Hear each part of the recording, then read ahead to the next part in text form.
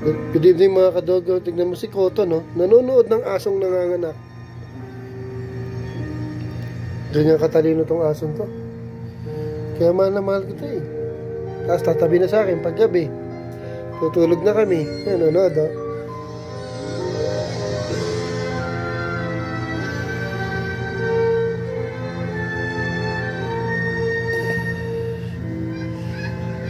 Kaya katalino yung aso ko. Nako, favorite ko yan.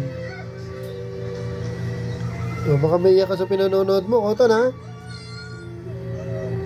Namimiss mo ng mga anak.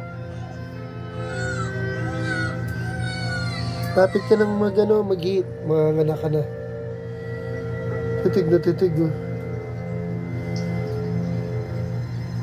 Bale, malapit ka na uli maging nanay. Sige na, nood ka na.